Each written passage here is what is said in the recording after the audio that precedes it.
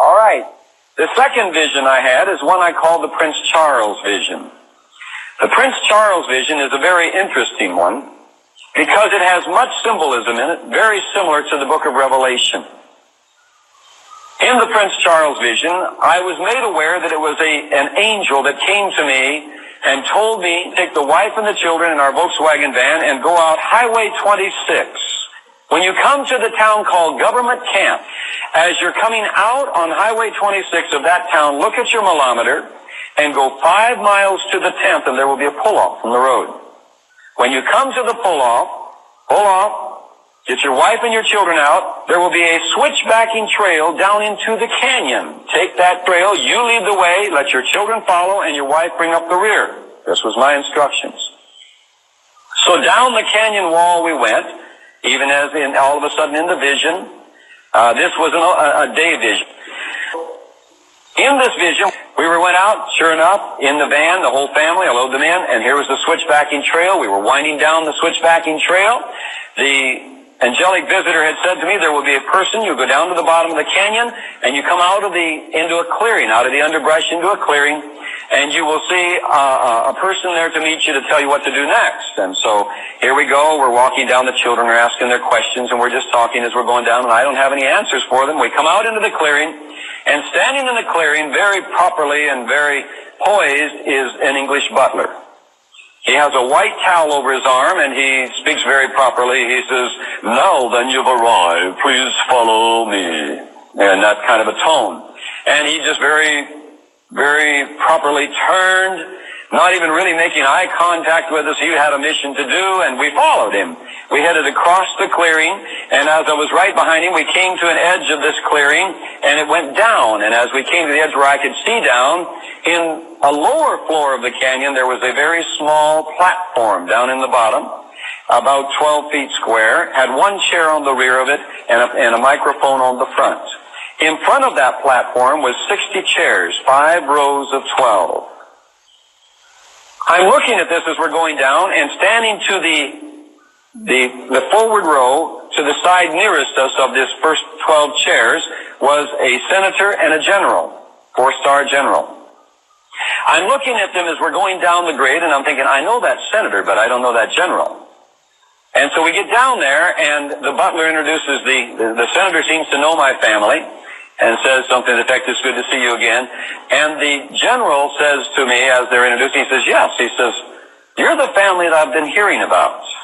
The general and I are conversing, and I, I don't remember the detail. God didn't want me to remember any detail of what we were conversing about. All, automatically, all of the 60 chairs were full. I glanced back, they were full. My wife and children, my wife was sitting down on the end, and my children had been seated, and so the butler said, please be seated, it's time to begin. And he kind of just sort of turned an angle like this away from us, reached under the arm where the white towel was and pulled out a two-way radio and uh, uttered a few words. Then he began walking back up toward the grade and the, the clearing where we first came out and met him. And as he was walking up there, I heard this big helicopter come over the canyon wall behind me. I turned and looked and could see that it was a big double-bladed one, the giant ones like the military calls the egg beaters. And it was carrying uh, something very strange. I've never seen a military helicopter carrying one of these. I've seen them carrying a lot of things uh, around the military bases. But I've never seen them carrying a construction office the way they were carrying this one. And this construction office was a blue that I was to learn later was the United Nations blue. So I believe it has something very significant to do with the United Nations, the building that the was being carried by the helicopter.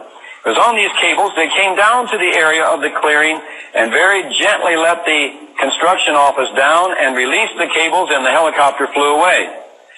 From that point then, the butler went up and unlatched the door and opened it for whoever was inside to step out, of which it was Prince Charles. He was wearing the cut-off short sleeves and short cut-off pant legs and he had the wide-rimmed, kind of light brown type hat like you'd see in an African safari or in the Middle East. The butler was following behind him. He was coming down leading the way, and I was looking at him as he come down the grade, and I thought, well, that's Prince Charles. But I said, either he's put on weight, no, I don't think he has. And as he got closer, I realized that his face was all red and puffy and his eyes were red. And I began to look at him and said, my goodness, he has really been crying. As he came closer, we all stood. The butler came up and uh, the general and the senator greeted him as though they had already met him. Then the butler introduced him to us and said, in, in a sense, uh, this is Henry Gruver, and this is his family, and this is his wife, in that kind of a gesture. As the butler was doing this, Charles looked at me and he said, thank you for coming today. You're the family I've heard about. You're here by my request. I have a message for you. Please be seated. With that, he turned to the general who was standing, and they came up and walked on the platform together. They conversed a moment. The general nodded, sat in the one chair back behind. And uh, as he sat in the chair behind, Charles stepped up to the microphone, and he said, I thank you for coming today. You're here by my request. Please take heed. I have a message for you. And then he said these words, I must inform you that your nation is at war and you have a battle to fight. But the saddest thing is, is you must fight it without God. With that, the general behind him, the American four-star general, jumped to his feet, come down off the platform, came around on the, the ground in front of him, and looked up Charles very sarcastically, and he said, we know we're at war, and we know we have a battle to fight, but we didn't know God had anything to do with it. And with that, Charles brings his right hand up and he comes right down like this between the eyes of the general in this motion. And he said, and sir, that is your mistake. And with that, they begin to argue why God or why he didn't have anything to do with it. And the argument went on. Everybody was attention was on it. I was watching straight ahead, but all of a sudden in my peripheral vision off to the left, there was a motion and I turned to see what it was and off to my left was a frog that was so big it wouldn't have fit under the ceiling. The motion I had seen off to my left that caught my peripheral vision was the frog's head had made this motion like they do before they're going to make the croaking sound when they fill the air sac under their chin. I watched it, and as that air sac began to fill and that dark green skin began to turn a yellowish color, terror literally swept over me. I, it was everything I could do to keep from jumping to my feet and, and interrupting Charles and the general and everybody and say, let's get out of here. If that frog opens its mouth and croaks, we're all dead. That was the kind of terror that was over me. About that time, its mouth opened out came out of its mouth, instead of a croaking sound, it came out a white vapor. It came right at us. It came right at Charles and the general. It enveloped Charles and the general. It was just about to hit my wife down on the end when all of a sudden I was caught up into the heavens. As I was caught up in the heavens, looking down on what I would call like Trafalgar Square. But Trafalgar Square has giant lions on the four corners facing north, south, east, and west. The lions themselves are up probably 10, 12 feet high just to their backs, let alone their heads. are made out of brass. Well, the lions were not in the square. The big fountain that you could easily put three or four of this size building into uh, was not there. Nelson's column was there, was not there in it. it. The square was empty except for all of the buildings around it. And the buildings around it were like commerce uh, libraries, churches, government office, and I, I think of Trafalgar Square, is because it is a representation of the British Empire, all right, in its glory. So it is a representation of everything that you would do to run the empire. And I'm looking on this square that's, that's empty. There's no statues on it now. And all of a sudden people start running out of this, into this open square from all of these buildings. And they're all dressed in their occupational garb. They all have, uh, the nurses have their little hats on and the doctors their stethoscopes, the welders their, their leather apron and their, their goggle type hat that's up. And you can tell their occupation by their apparel that they're wearing. So I would say that this event, whatever it is that has caught their attention, has caught them and they are running out all fully aware of why they're coming out of the building because as they come out, they begin to point up, like in the direction the frog was, as I'm looking into the heaven, I'm in the heavens looking down on this square. I didn't see anything but the square at first. They begin pointing off to my left hand. Now remember, the frog was at my left hand in the vision, remember? And the vapor came from him. They're pointing in the direction of my left hand and they're mocking and scoffing and jeering and saying, you can't hurt us. You don't have any power anymore. We're not afraid of you. And they're literally mocking. And I turn to look to see what they're, they're, they're pointing at because they're pointing straight ahead. They're pointing way up. And I'm wondering, what are they pointing? And I look and then my eyes see this army that went from the bottom of the, right by the square all the way into the heavens, clear up to the same level I was in the heavens. Off to my left hand was a Russian general, fully dressed in his full general's outfit with all of his braid and everything, standing in the heavens. His fists were clenched like this, and they were down at his side like this. His chest was out. And he was looking down into the square at these people. At his right hand was a rectangular weapon. I had never seen exactly that kind before. To me, it looked kind of like an anti-aircraft type uh, multiple cylindered weapon that they'd have on ships. But it wasn't quite. And as this band of people down in the square are mocking his army, and are literally scoffing and laughing at him and saying, you don't have any power, we're not afraid of you. I saw all of a sudden his neck muscles begin to thicken and his face begin to get a look of tension and he was getting angry. And then his blood vessels begin to bulge as all of a sudden his fist came up like this and he said, present arms! Aim! Fire! And this massive army of footmen that come from the heavens clear down into the, the level that these people were in the square. A people, this army that was stood like this before he gave the orders to fire. They were in full chemical warfare gear. And I didn't learn that until a man came back from maneuvers over in Afghanistan. And when he had me describe the uniform I saw in the vision, he said, Henry, you have perfectly described the Russian chemical warfare uniform. And he said, I didn't even know they had that kind of uniform until I just went over there myself and saw it. We didn't even have pictures to train for these because they're brand new uniforms. It's the latest of gear they have. But he said, I want to tell you something. Your description of their chest looking like the rib look of a, of, of, of, of a, a locust of the desert, the ones that make that buzzing sound in the summer, that was what their chest looked like. Their, their face looks kind of like, almost like a horse in a way, the snoot somewhat like a horse, and they had big googie eyes. And he explained to me, he said the googie eyes or the goggles are the the head covering they put over them. It has the goggles, and the snooty looked like a horse. You said.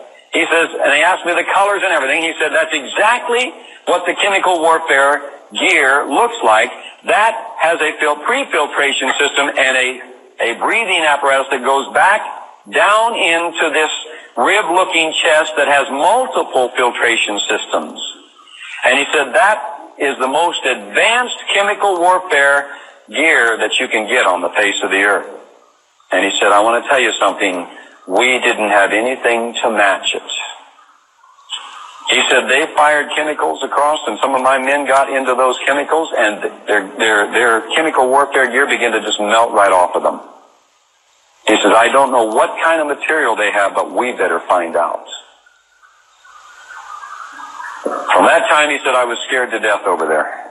One, one blast of this vapor could wipe out my whole platoon. Well, they were firing on the people back to division. They were firing on the people in this square. As they fired the first shot on these people, I then saw something that I believe we're being prepared for today. It totally caught these people by surprise. They sincerely, with their whole heart, did not believe that that massive military had any power, and they did not believe that that military would ever fire on them because of the response that was taking place there as they were fired on. They were taught by total surprise and total panic. And the whole action of that group of people in that square told me it was a surprise to them, even though they knew the army existed. They could see it going into the heavens, but they sincerely believed it would not fire on them. Now, remember in the Prince Charles vision, I may not have made this point clear, and I want to make this clear. When they were firing on them, and the people were caught by total surprise running back and forth, I was standing in awe that, that why don't they run into the buildings? Why don't they get out for cover? They just turn and run back and forth, and they weren't falling, but I could hear the bullets hitting them. And I wonder, why aren't they falling? When all of a sudden I begin to realize this square all around, all the buildings, all the, the material things were disappearing all around these people as they ran back and forth in the square. Now that to me goes along with Ezekiel chapter 38 and the reason that they will come. You go up, verse 38, chapter 38 of Ezekiel, verse 11. He says, Let us, I will go to them that are at rest, that dwell safely, all of them dwelling without walls and having neither bars nor gates. Now answer me a question. Is that a description of Palestine or Israel? Have any of you ever seen Israel or Palestine safe? You say, yeah, when the treaty signed, it will happen. Well, maybe. They are going to sign a treaty. I believe that. But I don't think it's going to last long. This says that they dwell. The word dwell, look up the word dwell and exhaust it out in the concordance. It does not mean a temporal habitation. It means to inhabit, to possess, to settle in. That's a big difference between a treaty and crying out peace and safety. Big difference. Verse 12. Here's the reason they're coming. To take a spoil to take a prey, to turn your hand upon the desolate places that are now inhabited, and upon the people that are gathered, gathered out of the nations, which have gotten cattle. All right? My, my third question, does that fit Palestine? I have literally crossed Israel back and forth. I've walked up in the middle part of Israel, and I want to tell you something, I've never found a cow yet. Show me a cow in the middle of Israel. I'll show you cows down in, in the area of Ashkelon, and there are a few down along the Jordan Valley. Not very many. More in Ashkelon and that area in the farms there. Show me a cow in the midst or the middle of Israel. Well, you see, just one cow wouldn't do it. Because the first thing listed that they're coming to take is cattle. You're coming in, it says in, in uh, 38, to take a spoil, to take a prey. To a people that have gotten cattle and goods that dwell in the midst of the land. Question number five. Is the major population in the land of Palestine in the middle of Palestine? Folks, it's not. Look at your geographical picture. The main population is not in the middle of Palestine. It's around the edges. Tel Aviv, Jerusalem, it comes in a little bit for Jerusalem. But look, predominantly it's around most of the border areas, along the Mediterranean. The reason they're coming in, Sheba and Dedan and the merchants of Tarshish with all the young lions thereof shall say unto you, Are you come to take a spoil? Have you gathered thy company to take a prey? To carry away silver and gold, to take away cattle and goods, to take a great spoil? I want to read to you this next article here, the Denver Post, 524 1992. Wichita, it got a bit hectic out here, Greg Raw's farm yesterday, when a delegation of 20 Russian diplomats stopped to ask a few questions about life on the American farm. The first question they ask is, where are your cows? First question, Russian diplomats. A delegate asked. Oh, there are a few of them here, Raw explained. Cows for milking? No, they're beef cattle. What will be your annual revenue? the next question. About your house. What is the footage? How many bedrooms? Well, if you're getting ready to take occupancy, you want to know all that. And that isn't funny, but I want to tell you something. We're heading into a very serious period of time.